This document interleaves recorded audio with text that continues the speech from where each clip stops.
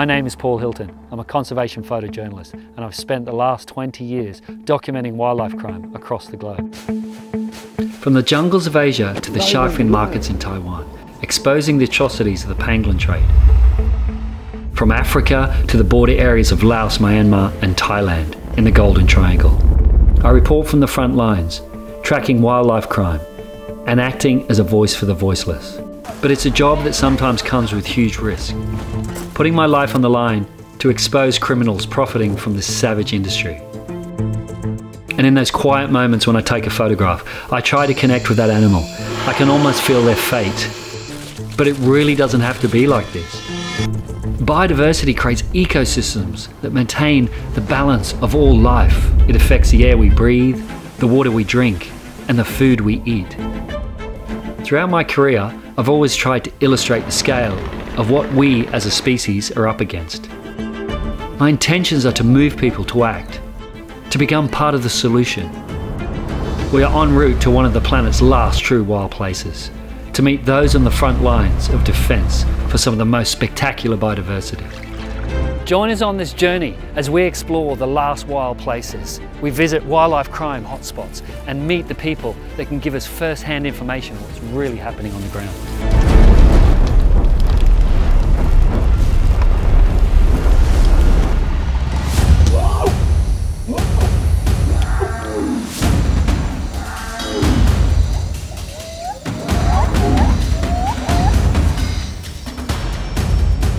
On the island of Sumatra, Indonesia, the Leuser ecosystem is the last place on Earth where tiger, rhino, elephant, and orangutan coexist under the same canopy. From high mountain forests, tropical lowlands, to carbon rich peat swamps. As one of the world's biodiversity hotspots, this area has a critical role in regulating the Earth's climate and it is currently under threat. From conflict palm oil expansion, canals are dug to drain the forest of life. At the same time, logging takes place. Fires are lit, allowing poachers to go deeper into the forest and going after its iconic species. And then land conversion takes place, increasing human wildlife conflict in surrounding communities.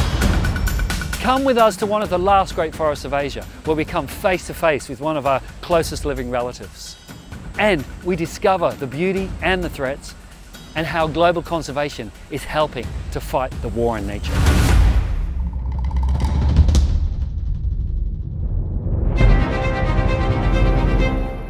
Wiza, a Sumatran elephant caught in a snare. I can't believe it. Okay, okay, we'll get over there as soon as we can. Okay, thanks. Okay, bye now.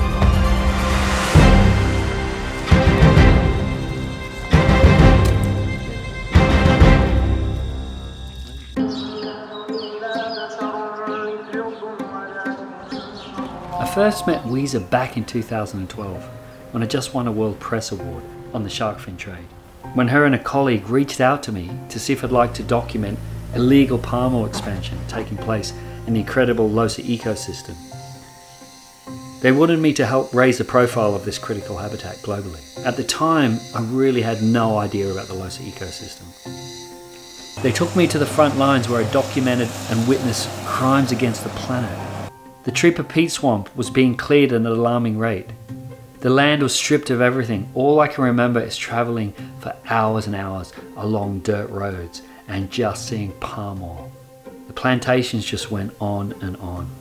And when we finally reached a small patch of forest, there he was, a young male orangutan refusing to leave his home forest. The team from Sumatran Orangutan Conservation Program called him Avatar.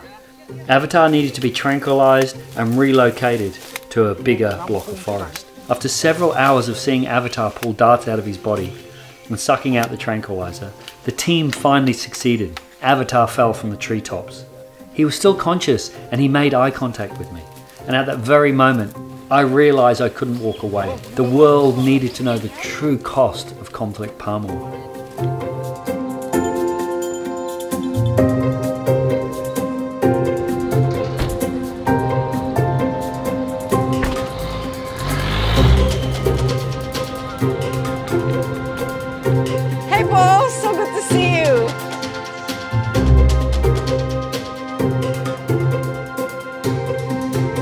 Wiza is one of the most powerful voices in conservation, internationally recognised for her leadership role by receiving a Whitley Award in 2019, and more recently included in the Time 100. The Leuser ecosystem, 2.7 million hectares of relatively intact forests. You could look at the map of entire Sumatra and you see how it changed over the years. And Leuser is that last large, intact and contiguous landscape in the entire island. This is our last hope for all of the biodiversity, for the ecosystem services that we all need. The Leuser ecosystem has three major habitats supporting all of this incredible biodiversity. From misty mountain forests where trees are covered in moss, clouded leopards roam, and critically endangered rhinos travel on mountain plateaus, to the tropical lowlands, which is prime tiger and elephant habitat, and finally into the coastal peat swamps that play a fundamental role on the Earth's climate by holding an incredible amount of carbon dioxide. And that is why it has been labelled the orangutan capital of the world.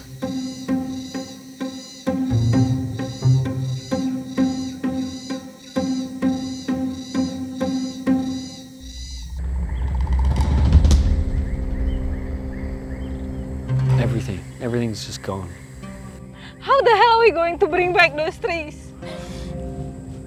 It's very different when you look at numbers of deforestation and you see it, you witness it up close. Look at the size of this tree. How many years old is this tree?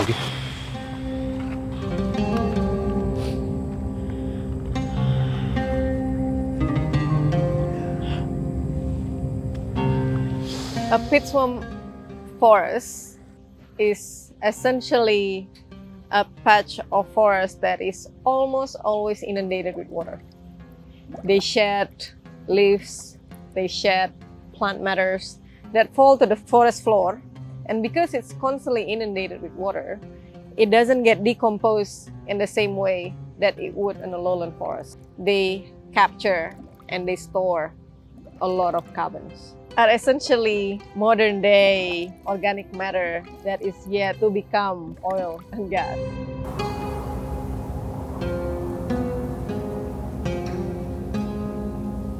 This canal is dug to drain the life out of this swamp, or they could turn it into monoculture plantation. First thing that happened is it become brittle and it become very prone to fire. Protecting the peat swamps in the Leuser ecosystem serve both the role of protection of biodiversity, but also protections for us to mitigate and adapt against climate change.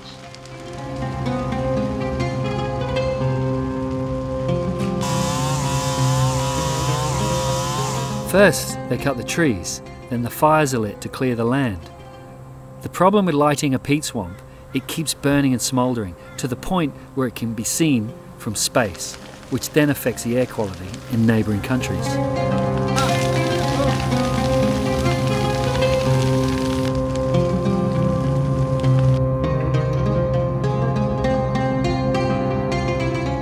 What makes me so angry that this is not about livelihood. This is total greed. We always talk about once the road goes through, everything else follow. The forest gets cleared, the poachers move in, wildlife gets extracted.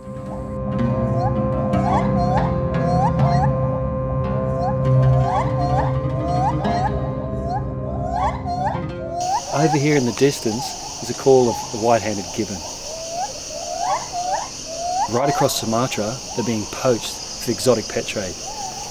And they have really close, tight family units. And sadly, the, the adults are being shot and killed, snared, and then the, the babies, the juveniles, are being taken and being trafficked across the world to the Middle East, China, even Russia, for the exotic pet trade.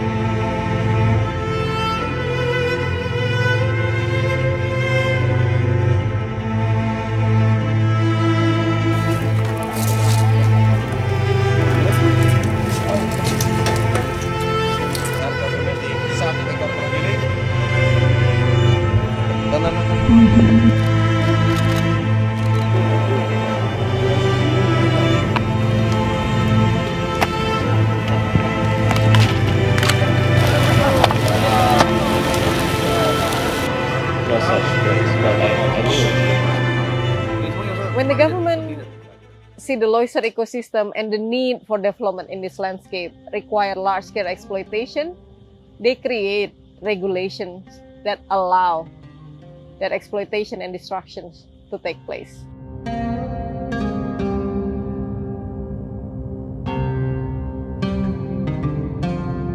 Singkil have the highest level of protection in all of Indonesia legal protection for forests. The amount of deforestation and forest destructions in the Singkil peat swamp has been increasing like never before. And these destructions are not for livelihoods. They're not done by small communities. They are done by people with capital. They are done by people that have power. So once again, communities getting exploited. Yeah, and getting blamed. Making other people rich at the cost of their environment, the cost of their economic sustainable future. And what do they end up with? Water table drops. Yeah, and some of them end up working on palm oil plantations, but from what I've read, a majority of them are getting pay, underpaid anywhere from 60 to $80 a month for a six day week. Yeah. And then they go poaching to yeah, supplement their income. What yeah. kind of living is that? Send the kids to school, they just can't afford it. Yeah, and they continue to get trapped in that cycle of poverty. The communities might get nothing. They'll get pushed out of the land, they lose their source of livelihood, and they lose their connection to the ecosystem services that have sustained them, their autonomy, and their economic independence. They become dependent on palm oil companies.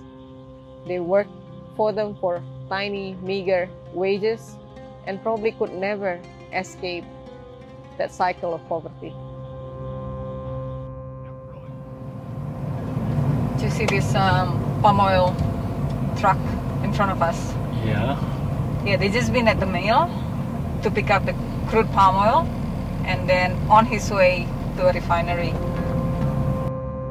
and then it's literally pretty much in what 50 60% of products on the supermarket shelf is it? Yeah pretty much yeah. So it's not as if we can't do without it. I think it's not necessarily that we need to cut out palm oil in a sense but rather to engage and stop them from clearing so much forest the community who own palm oil plantation are very dependent on the palm oil mill. Because once they harvest, this fresh fruit bunch doesn't last long. They have to sell it straight away. It doesn't matter what the market price is. The mill decide what they will be paying for this palm oil. Because they are at the mercy of the palm oil mill, they never get the fair price. A whole lot of communities that we work with ended up switching their livelihood because they got to a point of realizing that this is not economically sustainable for me. If I grow petai, if I grow durian, if I grow jengkol, that brings me more livelihood than if I grow palm oil.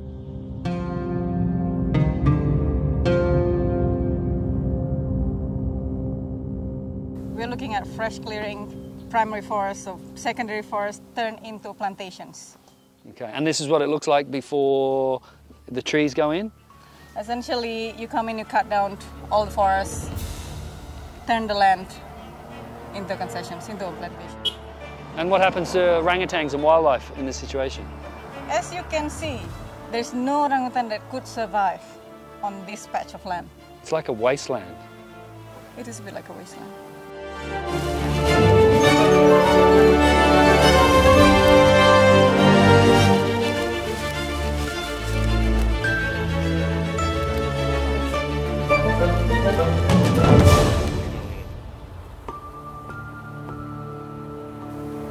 Migration routes of elephants that have been used for thousands of years pass through these small communities, and now crops and livestock are grown where forests once stood.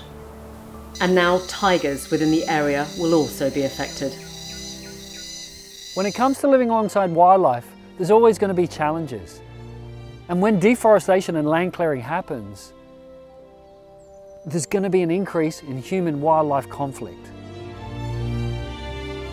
If a community has a conflict tiger, they'll come in, they'll set up one of these traps, hopefully catch the tiger before it's killed by the locals because of human wildlife conflict. They'll catch the tiger and then relocate it into a different part of the forest. And as we push into deeper into the forest through deforestation and palm oil plantations, we're opening up the tiger habitat and wildlife conflicts is increasing constantly. Conflict kills not only human and wildlife, but ultimately wildlife pays the price.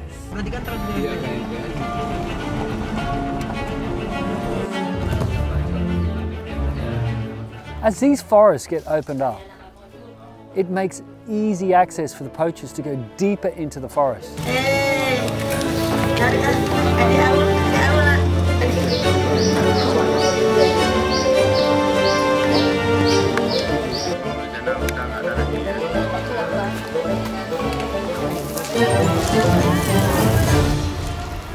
After the phone call with Wiza, I tried to get to the injured elephant as quickly as possible. This critically endangered Sumatran elephant that we called Daisy was caught in a snare between two palm oil plantations. Sadly, the herd had moved on. When I arrived, she was lying on the side in a pool of mud. A coalition of NGOs were working around the clock to feed her, administrating saline drips and giving her painkillers. The situation was really desperate. And sadly, that evening, she passed away. And there's not a day that goes by I don't think of Daisy.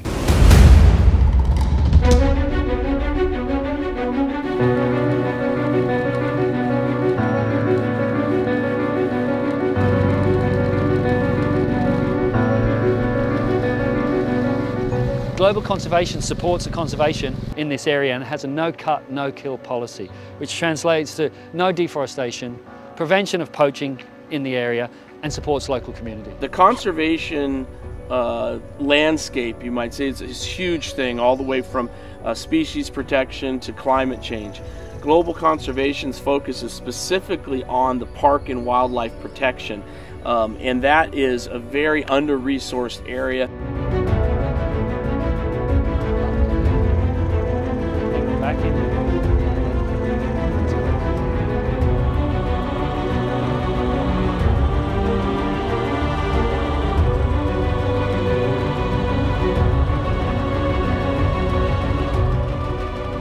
Speaking to some of the locals, they've had a lot of tiger interactions. So there's this prime habitat for tigers. And you can see, standing here just feels like a frontier. You can really feel just that, that forest goes for a long way.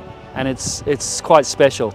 It's not manicured anyway, it's wild. Uh, these rivers meander through most of the ecosystem and there's no dams, where most places in the world there's lots of dams. Here, it's one of the last true wild places on the planet. To protect this biodiversity hotspot for generations, Global Conservation is strategically supporting the local community to become guardians of the forest.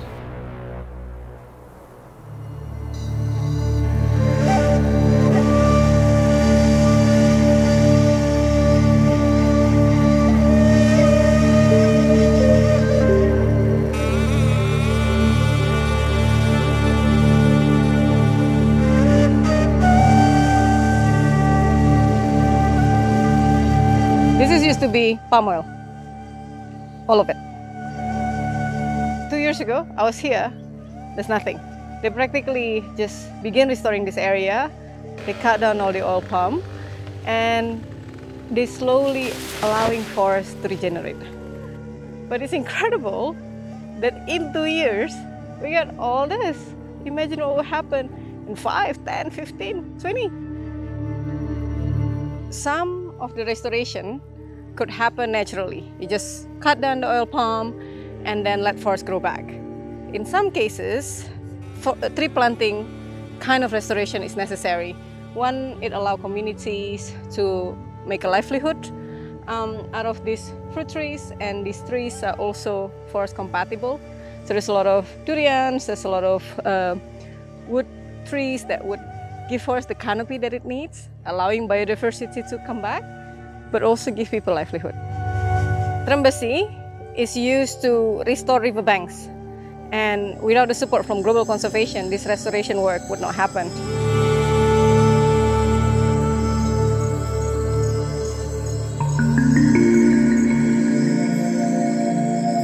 Global Conservation has been funding Leuser ecosystem conservation for over a decade. We're actually helping the countries protect their parks on the ground. So, training, equipment, systems, really bringing Silicon Valley systems to third world countries and helping them save their parks. I see our conservation work as a partnership with multiple people and organizations that share this vision of protection of the Leuser ecosystem. Global conservation has been one of those important partners who trusted us, who trusted our work from the very beginning. They invested in our conservation initiatives. They trusted us. They allow us to do what we do best, to be the player on the ground. They supported our work and enable us to sue companies, to restore forests, to build research stations, to work with the community and change how they make a living out of the forest.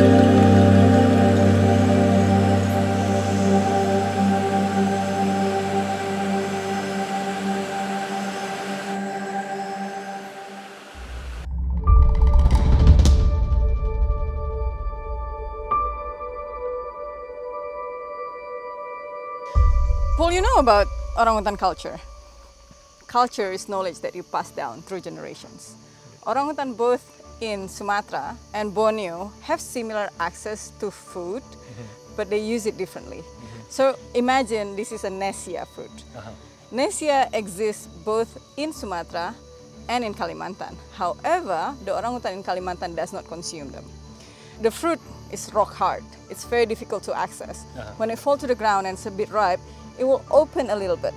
It's not large enough for you to stick your hand and grab the fruits, but these fruits are very nutritious. Lots of fats, lots of carbs, really good for orangutan. So the orangutan in Sumatra figured out a way that they could use a stick, Right. they could fashion a stick, and they put it in their mouth, and then they go flick the fruits, Really? and then they'll eat it as it fall onto their mouth. And because they have access to that, they increase the population of the orangutans and they increase the density of the orangutans. So in the same patch of forest, you get more orangutan that they can observe one another. It's like collective knowledge. It's like a library in each other's head through each other's behavior. Pretty incredible, eh? Amazing. So, uh, yeah, should we keep Let's go.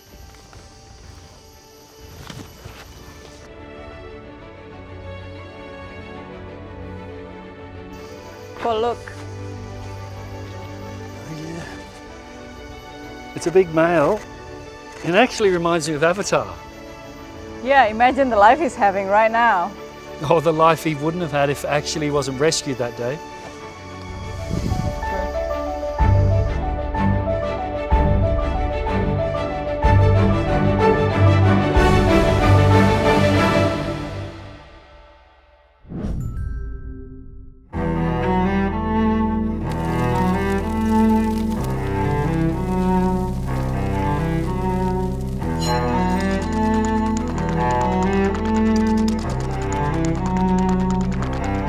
That hard work in those early days, documenting the Tripa peat swamp and that illegal palm oil company that was destroying all that forest is now finally being brought to justice.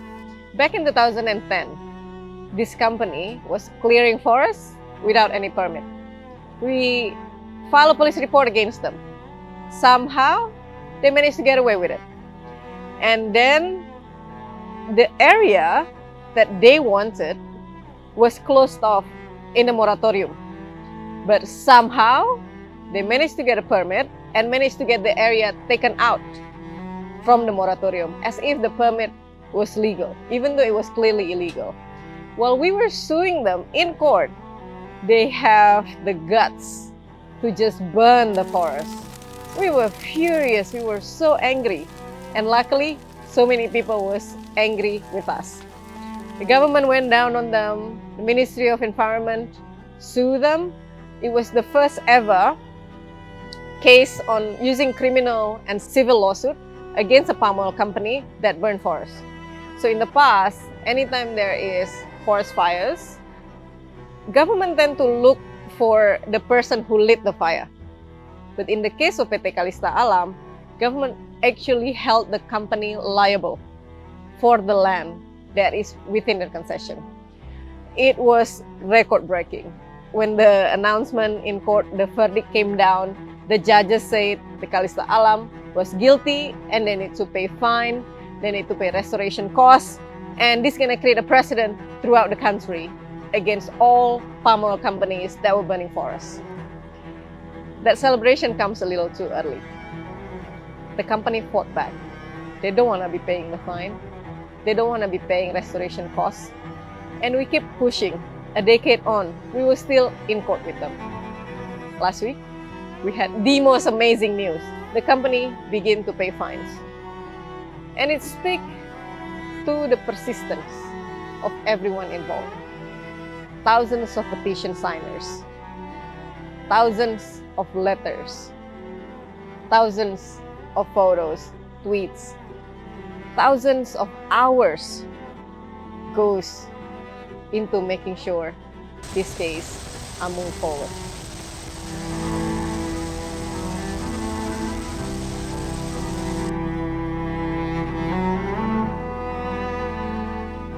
And now after 10 years, the rogue palm oil company, Kallista Alam, is having to pay $23 million in fines and restoration costs.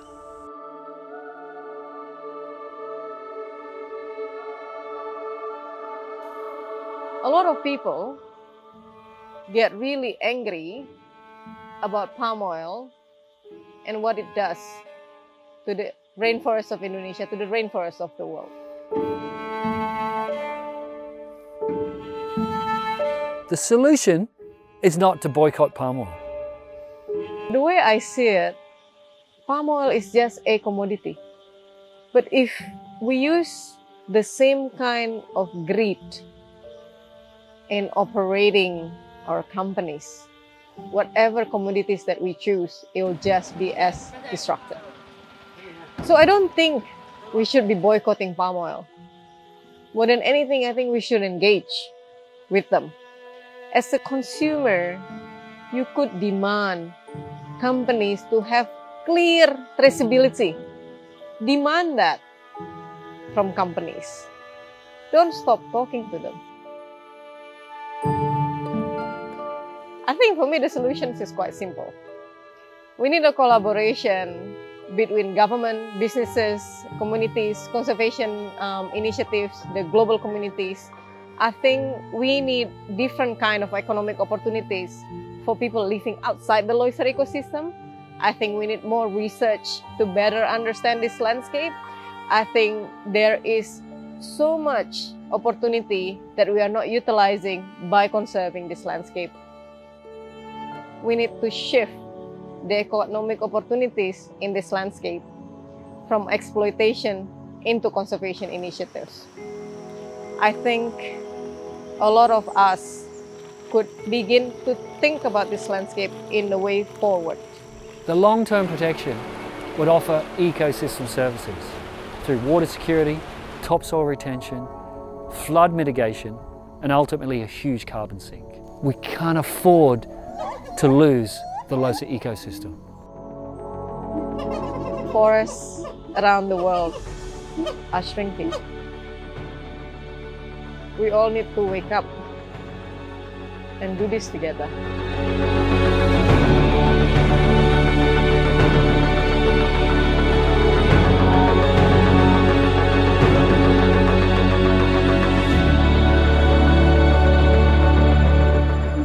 Out of 2.7 million hectares, 80% of this landscape is still intact. I have a lot of hope that we could change the situation, that we could flip the game and make it better.